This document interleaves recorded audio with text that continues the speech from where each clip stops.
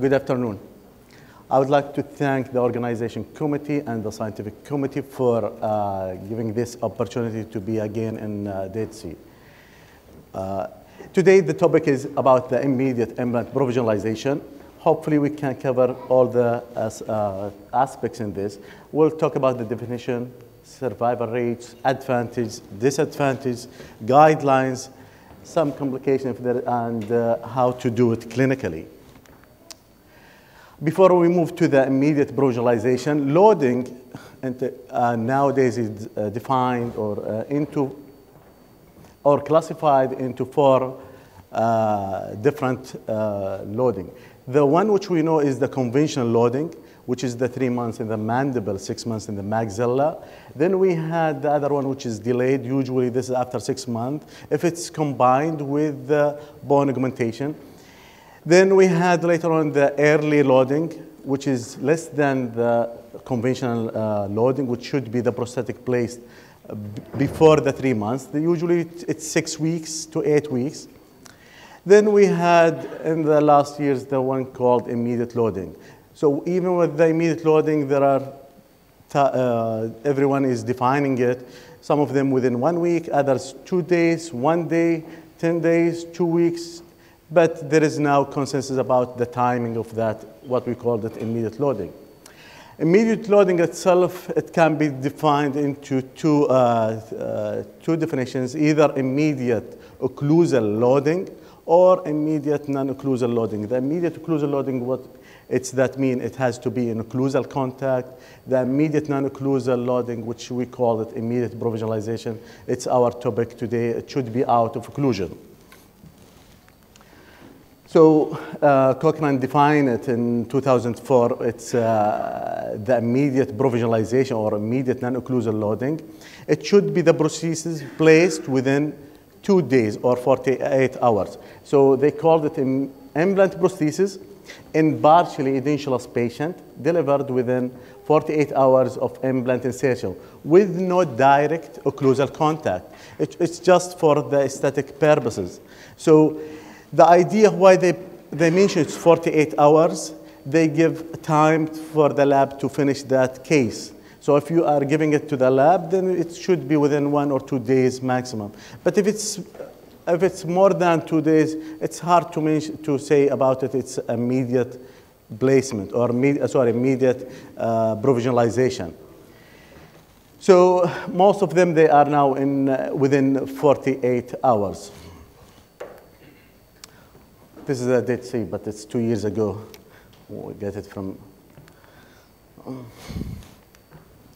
So the survival rates is range from 81% till 100%. It varies between the clinician, between the implant system, and the types of, uh, or the timing of provisionalization.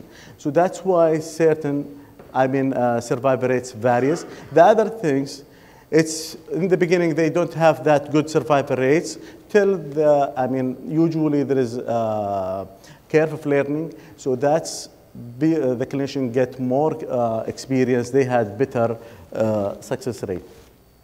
Again, this is the Dead. What's the advantage of this uh, clinical procedure? The most important thing is the aesthetics. And patient comes to the clinic with a tooth or there is a crown on there, so they don't like to leave the clinic without any replacement. And most of our patients and I'm sure about Jordan is the same, and other places in the world, they don't like the removable prosthesis. They don't want to have to, uh, a removable prosthesis that they can place it and remove it. So they prefer always to have a fixed tooth or fixed uh, prosthesis. So from that, they will improve the psychological effect, and the patient will like such uh, procedure. Other advantage, preservation of soft tissue architecture, because from day one, you will improve the emergence profile with that kind of temporary or provision crown. Less number of visits, especially if it's combined with immediate placement. So if you do the extraction of the tooth, then you place the crown in the same day, you'll have less number of visits. Then it, with that it will be, there is a redu reduction in the length of the, uh, in the treatment itself. We had disadvantage of this technique. It will have more chair time required. And we know that implant, implant placement doesn't take, I mean, if there is no bone augmentation, if it's straightforward, it doesn't take much time. But the, the things which takes time is the temporization itself, or to do the temporary, especially if it's with implant. So you'll need more time for such uh, uh, treatment. Therefore, it will increase the cost because you will need to use uh, components such as the temporary cylinder and the util or utilization of the lab. Technique sensitive because we are not get used to the use uh, to work in the bleeding area and especially with the implant placement. So it's, we used to do it in the uh, conventional way. It may uh, raise or increase the risk of failure, especially if there is uncontrolled load, loading on these uh, crowns. And as you know, usually when you have any kind of surgery, you don't, you don't know where the final, um, uh, final healing, either about the soft tissue itself or the hard tissue. So it's too hard to predict what is our final uh, contours or outcomes. You notice this is case when it's being placed immediate placement, after immediate placement immediate provisionalization with the final restoration, then you can notice some kind of recession there. Because it was too hard to predict where the final uh, soft tissue uh, uh, contour. Or such cases. Later on, after a couple of years of, of in, the, in the uh, patient mouth, you might end up by exposure of the implant itself. So although it has good advantage and it's, it helped the patient a lot, but still with kind of complications. So how can we assure that we have good success rates? First of all, we should have this, select the implant that has good primary stability in good bone. So if you have multiple implants, the, for example, if you are doing it in the uh, anterior area, then you place two implants or more. These implants shouldn't be singles. It has to be splinted so that you don't allow for flexure forces on these implants itself. Also, do not remove uh, these timbers during the healing period. So don't try to test if these are stable, this implant or not. As long as the crown is there, it's not moved, don't touch it. So let it be there and make sure that the patient is not utilizing it for uh, function. Implant at least 10 millimeter long because of the study they show that it's more uh, uh, success rates with 10 millimeters and above. As we know, we prefer always the rough surfaces, again for the same uh, things. And I don't think so nowadays we have even the machined implants. Uh, try to avoid uh, the cases with parafunctional habits because there is uncontrolled forces on these uh, teeth and implant. And you notice some of the cases, even there is uh, natural teeth fra uh, fractures or cracks because of such kind of forces with the parafunctional habits. All cantilever, uh, try again, there should be no cantilever in such cases for the same, for the same reason because there will be more forces on these uh, implants. Uh, we prefer to use screw retained, not necessarily to be all the cases, but whenever it's with the screw retained, it's much better than cemented to avoid again the cement or remaining cements there. All lateral contacts uh, should be in the must be eliminated, and even it should be all the protrusive contacts should be eliminated. So we try to just to place that one out of occlusion for the purpose of the aesthetics. So uh, we had, most of the companies, they provided what they called the temporary abutments or interim abutments, and that uh, fabricated from different materials, either uh, aluminum or plastic, uh, or you can utilize the final abutment if you can exchange it with different patients or from uh, old cases, then just sterilize and use it as temporary. The criteria for the, such abutment we had two things. First, you have to uh, establish the finish line for where to place the finish line, either equigingivally or uh, with the gingival level, or just below the gingival margin, about 0.5 millimeter. And the other criteria, it should be, uh, you should create room or space uh, away from the opposing, which is about two millimeter for your crown material. So this is the abutment should be uh, cleared from the opposing with uh, about two millimeter. A case with, that's been traumatized and uh, indicated for extraction, incisor. Now, either you had your uh, cast or diagnostic cast beforehand, or you can make the putty direct from the patient mouth. So you can have it either way, putty from the model or putty from the patient mouth. This is the putty index. So after extraction, and you decide to do it immediate placement, not necessarily to do it immediate uh, placement, but even if it's been extraction and immediate placement, then at the time when, after implant placement, select the abutment as we mentioned, uh, we, uh, mentioned before. So with this abutment now you can mark where it should be cut occlusally and where is your finish line. So with the finish line, the, like this one, it's supra uh, mucosa or supra gingival. You should, I mean, uh, remove from or adjust the finish line and we prefer always to be uh, extra oral, not in the patient mouth, not to incur more forces uh, on this abutment. So you do all the adjustment outside, check it again in the patient mouth. If it's fulfill the criteria which you set it before, then after that just we torque it to, uh, as the recommendation here is 20 Newton centimeter. Then you can fabricate your provisional. You had the putty already. That's the putty index from the, the tooth which was uh, before the extraction. You, you, can utilize different material. Then uh, the most important thing whenever you place it, it has to be polished, finished first, then polished. Highly polished that, especially in, uh, in the gingival area. And the cementation recommendation, you can cement it with Temp Bond or poly uh, carboxylate cement for stronger, I mean cement, especially if you would like it to leave it for longer period. Then you'll have, later on you can have the final restoration. Uh, the most important thing here in this case is you will give the patient the crown on the same day. So the patient will leave the clinic with a fixed crown. And the other thing you'll get the benefit from the procedure is what we call the emergence profile from the soft tissue. So you can contour the soft tissue around it. The one who is asking about Salalah, this is Salalah. Salalah in Oman.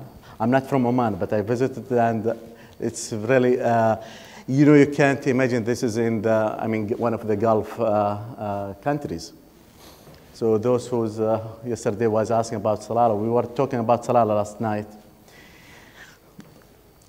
Uh, another case with the central incisor that there is fail, I mean, fracture indicated for extraction and the treatment final decision is a placement of implant. Again, you can do it with alginate, with a putty. You can make what we call it eggshell, just the outer contour of the tooth. So you, you can do it relining in the patient mouth due after uh, temporary, uh, after selection of the abutment and Adjusting that abutment, then you align this eggshell with uh, autopolymerizing acrylic. So you can do it with uh, what we call salt and pepper. Uh, this is the powder and liquid, just lining the outer surface of the, uh, of, the, of the tooth, which will be replaced later on. So this is the, what we call eggshell. You can then, all these flashes, you can remove them and you'll have just a shell. After removing the tooth, if your decision is to place the implant uh, immediately, or if it's conventional way after waiting uh, period of the healing, then you go back and place the implant. Uh, it doesn't make big difference. But the advantage is here, the patient comes with a tooth, then you can give him, I mean, a tooth. Or you can do, do it with the give him a Maryland bridge as temporary procedure, then you can do the implant conventionally after healing. So you can do it either way. after implant placement, then you choose your the abutment. This is the abutment, different abutments there. So now the same thing, where is the margin and where we should cut from occlusally. All the adjustment should be outside. And you have the shell. If you uh, decide to make this shell to be uh, screw retained, then you make the holes for the screw retained from the palatal area. Now you can add and reline the uh, acrylic shell. Again, with the same technique, powder liquid. Stabilize it and uh, by the handle or by the explorer. So just this is mainly uh, uh keeping the outer contour with the adjacent uh, teeth. So this is the auto-polymerizing acrylic. So before the, the final setting, you can remove it. Because I need just the, uh, the uh, kind of contour, I can add and work on it outside the patient mouth. Then you can, uh, uh, this is the provisional cr uh, crown, attach it to the analog, then you can work outside. Now you, this is, you, can, you can have your time, or if it's in the lab, you can give it to the lab. The lab will, or the lab technician, or uh, yourself, you can add now the same, with the same technique using powder, a liquid. Uh, before that, you, can, you have to mark where is the contact area that you will not remove it. The same thing, add I, uh, to have the, the contour of the central incisor.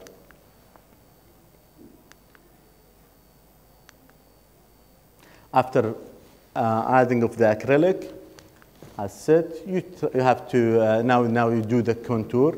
You can use the heatless uh, stone uh, on st uh, straight hand piece and use the different kind of acrylic pairs also for finalizing, finishing the, uh, the, the, crown. You can seal it between the, um, in the, between the abutment and the the, the, abutment between the abutment and the implant itself. If there is any deficient area, you can add on it, have more support. Then the most important thing is the polishing of that has to be high polished.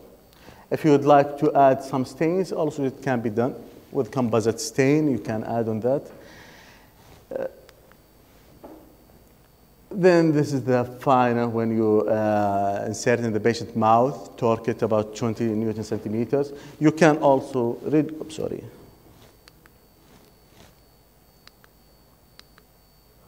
You can also remove more from the palatal if it's interfering with the patient tongue. You can reduce because all this material is acrylic. So it's easy to add and remove on it. Again, this is Tara Salalah. Huh? So it's uh, another case with this internal uh, resorption, external resorption. After, after removing the uh, tooth, placement of implant, you had the same technique of eggshell after placement of uh, temporary abutment. Again, it's adjusted the most important. You can adjust it for the screw. Even if it's long, this is easy to, this is a plastic. You can cut from it and remove it. So you can leave it just uh, in the beginning. Then later on, you can adjust it and remove it. It's a plastic, it's easy to be removed. So the, once you do all the adjustments outside, make sure every time you try it in the patient mouth, it has the contour that you would like. You do the final polishing, make that it's highly polished, and insert it in the patient mouth and make that torque. What we mentioned by that, this is, you can notice the preservation of the soft tissue architecture. Then use, from the day one, you can have the emergence profile. Later on, when you have the fine restoration, it makes the life easier because just you want to copy that emergency profile and give it to the lab. The lab will provide or give you the final restoration according to the provisional you had before. Then you can have, this is the final restoration, which is copy from the provisional restoration.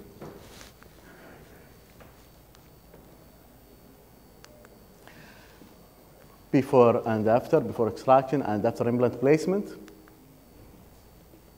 بس هذا عاد بالسعودية. And they, dr- they had, oh, sorry, this is, what is it? And this is our Saudi Arabia map, huh? With the Gulf. But in a city called Hail. Okay, we, uh, two uh, central incisors that's been uh, failed and uh, indicated for extraction after implant placement. It's not necessarily you had the immediate placement with the immediate provisionalization. It's the decision of the clinician himself. So after implant placement, you can make the impression and send it to the lab. The lab will fabricate the uh, final, or the, sorry, the temporary crowns. So in the lab, they have the same, the same technique, the one which we do it in the clinic. From the model, they select the abutment. It could be one of the final abutments, could be one of the temporary abutment or the plastic abutment. With their, the body, then they fabricate the temporary uh, restoration. After fabricating the temporary instrumentation, they will send it the, uh, to the clinic. I'm if you can utilize the final abutment or the temporary abutment. So then you torque the abutment after you check them. Then you insert this temporary and if it's cement retained like this uh, case, and you should have to cement it. But make sure you remove all the remaining cement.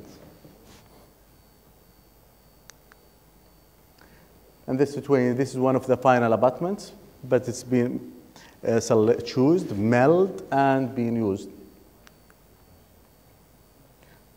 After temporary cementation, and this is the final restoration.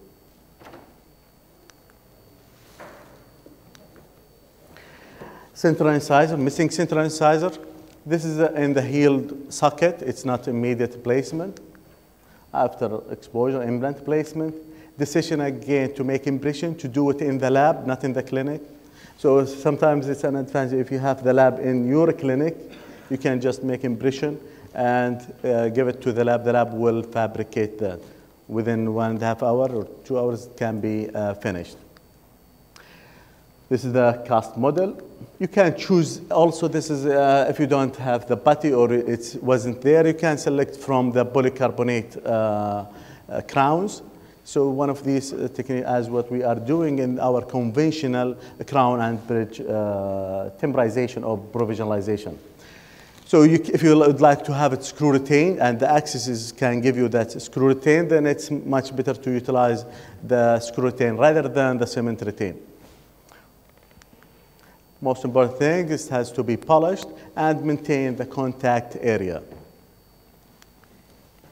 So you try it in the patient's mouth and can be cemented. Again, this is the cases where the patient comes to the clinic with a tooth. It's too hard to let the patient, especially a young, uh, young lady like this, to let her go without uh, restoration. Or you give her removal res- uh, prosthesis. Again, most of our patients, they don't like to have that such temporary, uh, uh, temporary uh, or what we call the flipper, uh, temporary acrylic restoration. Salalah again. Mm. Okay, failed post and core and crown, lateral incisor, extraction, placement of implant placement. In such situation, it's been selected the final abut- one of the I mean abutments that can be used for the final restoration. If you notice, it's, too, it's very short because there was no other of, in the stock. There is no stock abutment, and there is no of these ab- temporary abutments. The good thing with this kind of immediate provisionalization, there is no direct load. So because it's out of occlusion, there is, we are not worried from loosening of that temporary. Again, you can select the temporary, uh, I mean, the, from polycarbonate crowns.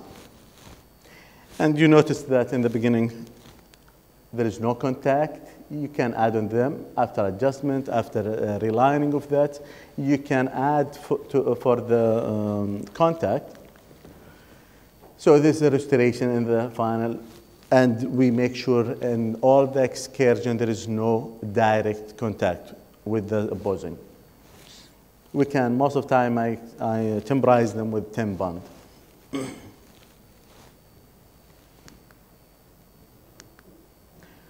Again, failed uh, post and core and crown for extraction, decisions to place implant. Again, the abutment is one of the previous cases been changed, the abutment, then you can choose it and use it as temporary in this case.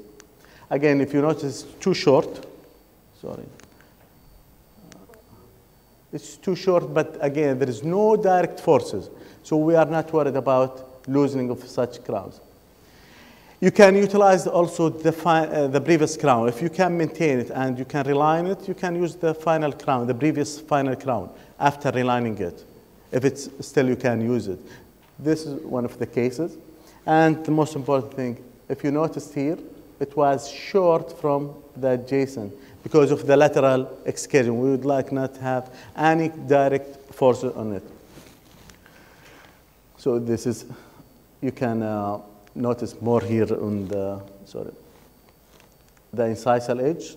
We reduce it just to make sure that when the patient uh, protrude the, uh, the lower teeth, there will be no direct force on it. Before and after. And this was the final restoration. So to conclude, it should be done by good hands, well-trained clinician. Because the most important thing is how to give the patient good occlusion and how to uh, make sure there will be no direct occlusal contact on such single uh, crowns. The other things, which is good news, from the studies, we know that these kind of restorations have almost comparable uh, success rates with what we know about one stage and two stage uh, implant restorations.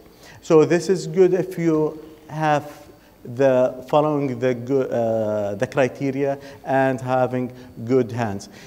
The most important things with this case is patient appreciate such restoration. Most of the patients, they really, really like such restoration. Because as I'm telling you, patient comes with a tooth, they don't like to leave the clinic without tooth. But again, if it's possible not to do it, we'll try not to do that kind of immediate provisualization. If the patient can stay without that one, I don't like to give more risk to such implants. I would like to go through the conventional way. But I'm telling you, most of these cases, especially upper anterior, they, they, they resist any kind of restoration. Uh, at the end, I would like to thank you all, the audience.